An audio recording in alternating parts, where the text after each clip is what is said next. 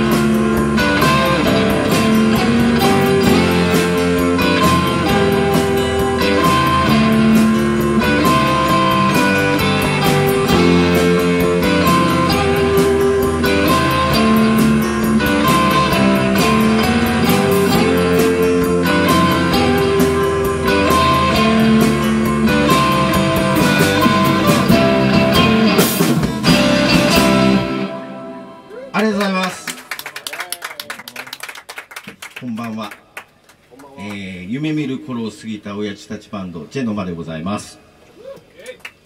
よろしくお願いします。いやもうさっきもう借りてきたキャッツさん見ちゃって俺いかった。ペニーレも見に行ったしね。うん泣いちゃったもん俺この間。はい。あれこの次もまたあるんですよね。行きますんでよろしくお願いします。はい。そんなわけで。ではい僕たちしてその辺のね MC とかダメであのベースの彼に、ね、いつも怒られてるんで今日はあのいっぱい喋らないでどんどん曲いきますんで 付き合ってください。あのずっと昔に作ったオリジナルばっかり今、えー、やっておりまして大体の曲がもう30数年前。いやそんなの。あそんなってないか、うん、30年ぐらい前え？もうもうそろそろでしょ、うん、えー、そんなんでどんどんいきますんで聞いてやってください。よろしくお願いします。